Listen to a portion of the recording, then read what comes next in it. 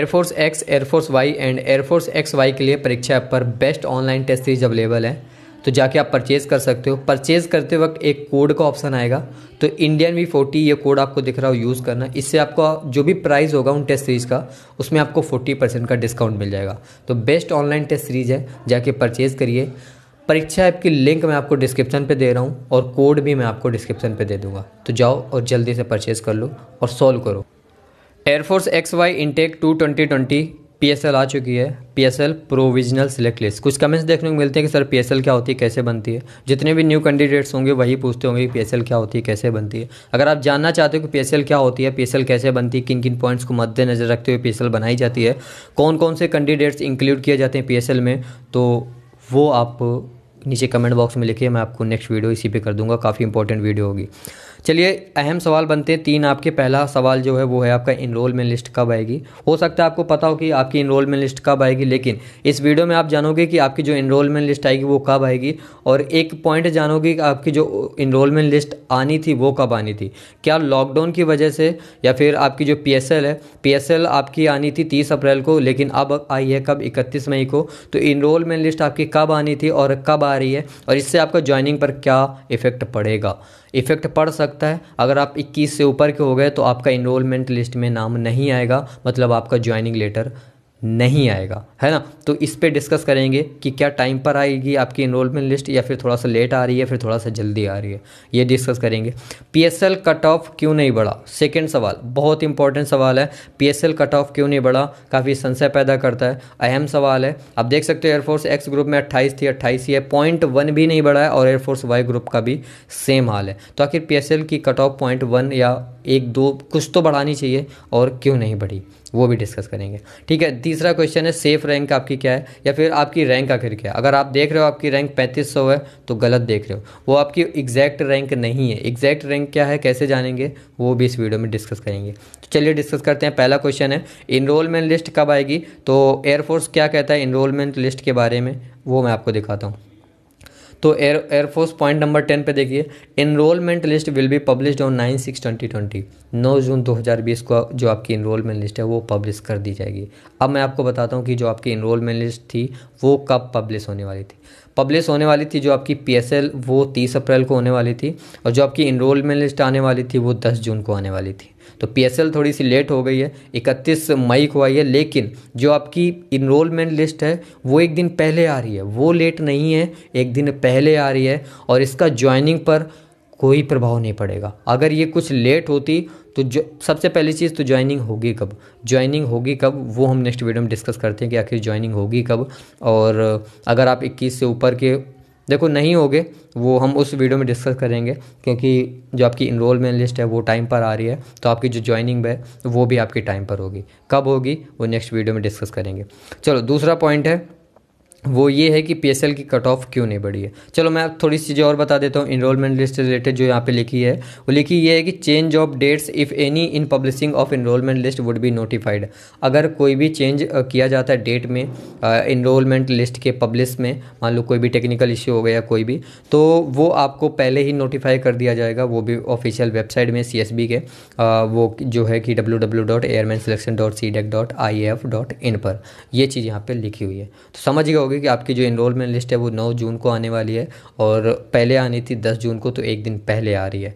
तो ये इसमें चिंता आप मत करिएगा कि इसमें ज्वाइनिंग पेयर आपका कोई भी इफ़ेक्ट पड़ेगा। दूसरा क्वेश्चन है आपका पीएसएल कट ऑफ़ क्यों नहीं बढ़ा? काफ़ी इंपॉर्टेंट है ये। पीएसएल की जो कट ऑफ़ है, वो पॉइंट वन भी नहीं बढ़ी है। और मुझे क्या लगता है, देखो, सबसे पहली चीज़ की इनरोलमेंट लिस्ट बनती किन किन पॉइंट्स पर है। ये वीडियो आपको ज़रूर चाहिए होगी कि इनरोलमेंट लिस्ट कैसे बनती है। तो एक पॉइंट होता है इनरोलमेंट लिस्ट में, काफ़ी सारे पॉइंट होते हैं, उनमें से एक पॉइंट होता है अवेलेबिलिटी ऑफ़ वैकेंसीज आखिर एयरफोर्स को वैकेंसीज़ की कितनी ज़रूरत है, कितनी वैकेंसीज लेते हैं? ये पॉइंट भी इंपॉर्टेंट रखता है और यही फ़र्स्ट पॉइंट रहता है उसमें। कि आखिर एयरफोर्स कितनी वैकेंसी रखता है, उसी हिसाब से आपकी इनरोलमेंट लिस्ट बढ़ाई, बनाई जाती है। तो आपकी जो कट ऑफ़ इसलिए नहीं बढ़ी है क्योंकि जो एयरफोर्स को कैंडिडेट चाहिए, वो ज़्यादा चाहिए। जो आपकी वैकेंसी है, वो कहीं ना कहीं बढ़ाई जाएगी। इस बार एयरफोर्स वैकेंसी बढ़ा रहा है और कैंडिडेट्स ज़्यादा लेने वाला है, इसीलिए आपकी जो कट ऑफ़ है, वो नहीं बढ़ी है। देख लेना, नौ तारीख को इनरोलमेंट लिस्ट आएगी और वैकेंसी ज़्यादा ही होने वाली है। तो ये पॉइंट काफ़ी इंपॉर्टेंट था और मेरा ओपिनियन यही है कि आपकी जो वैकेंसी है वो बढ़ने वाली है। इसीलिए जो कट ऑफ़ है वो नहीं बढ़ी है। नेक्स्ट पॉइंट है कि आपकी रैंक क्या है? देखो तो आपकी रैंक जो यहाँ पे दिख रही है, मान लो बारह, तेरह, जो भी आपकी दिख रही है, मान लो इनकी सोलह रैंक है तो ये असली रैंक नहीं है। चलो, मान लो आपकी रैंक हंड्रेड है हंड्रेड वाले को देखते हैं हंड्रेड रैंक किसकी है? हंड्रेड रैंक है राहुल की। राहुल की रैंक हंड्रेड है, जो कि एग्जैक्ट नहीं है और ये एक्चुअल रैंक नहीं है। अब करना क्या है एक्चुअल रैंक जानने के लिए? इसके ऊपर जितने भी अनफिट या फिर अपसेंट कैंडिडेट्स हैं, उनको काउंट करना है। चलो हम काउंट कर लेते हैं फटाक से।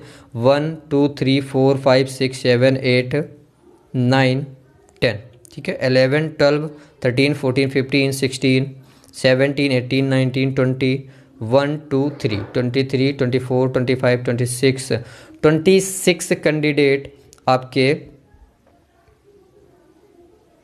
हंड्रेड के अंदर अनफिट हैं या फिर एबसेंट है। अब हंड्रेड में आपको ट्वेंटी सिक्स माइनस करना पड़ेगा, तब जाके बचा कितना? Seventy four. तो राहुल की जो एग्जैक्ट रैंक है, वो आपकी है सेवेंटी फोर। अगर आपकी रैंक है सत्ताईस सौ तो इसके अंदर जितने भी अपसेंट हैं या फिर अनफिट हैं, उन सभी को आप हटाइए। इसके बाद जो आपकी रैंक होगी, वो आपकी एक्चुअल रैंक होगी। अब इनरोलमेंट लिस्ट जो होती है, वो किन किन पॉइंट्स पे बनती है, उसके लिए हम एक अलग वीडियो में डिस्कस करेंगे, तभी क्लियर हो पाएगा। सबसे पहले जल्दी से बता देता हूँ वैकेंसीज़ की अवेलेबिलिटी मेडिकल फिटनेस और ये भी देखा जाता है कि इनरोलमेंट डे पर आप कहीं इक्कीस से ज़्यादा तो नहीं हो रहे हो, है ना? ये इतने पॉइंट आपके देखे जाते हैं। चलो अब यहाँ पे बात करते हैं सेफ़ रैंक क्या होने वाली है? देखिए, सेफ़ रैंक जानने के लिए आपको नेक्स्ट वीडियो देखनी पड़ेगी।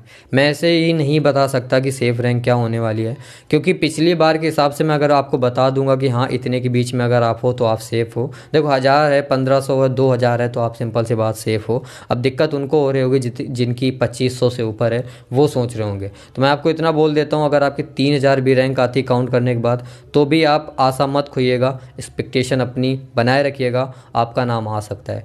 क्योंकि वैकेंसीज ज़्यादा होने वाली हैं एयरफोर्स को कैंडिडेट्स ज़्यादा चाहिए वैकेंसी बढ़ाई जाने वाली हैं तो नाम आपका आ सकता है। अब टोटल कितने कैंडिडेट्स लिए गए हैं? एयरफोर्स एक्स ग्रुप में एयरफोर्स वाई ग्रुप में, और दोनों को मिलाकर कितने हैं? अनफिट कितने हैं? अपसेंट कितने हैं? अनफिट और अपसेंट हटाने के बाद कितने बचेंगे? ये सारा हम उस वीडियो में डिस्कस करेंगे, और इसके बाद निकालेंगे कि आपके आखिर सेफ़ रैंक क्या हो सकती है? है ना? ऐसे ही हवा हवाई में कुछ भी नहीं बोल सकता। तो थोड़ा सा एनालाइज करेंगे नेक्स्ट वीडियो में और फिर देखते हैं कि कितने कैंडिडेट्स निकल के आते हैं, जो कि अनफिट है अनफिट और अपसेंट हटाने के बाद एकदम फिट निकल के आते हैं और फिर देखते हैं कि कितनी आपकी जो वैकेंसी है वो निकल के आती है। बाकी कैसी लगी वीडियो कमेंट करके मुझे ज़रूर बताइएगा। इनरोलमेंट लिस्ट कैसे बनती है? अगर इसकी वीडियो चाहिए तो कमेंट बॉक्स में बताइएगा। नेक्स्ट वीडियो में यही कर दूँगा। मिलते हैं इस वीडियो में। Take care bye guys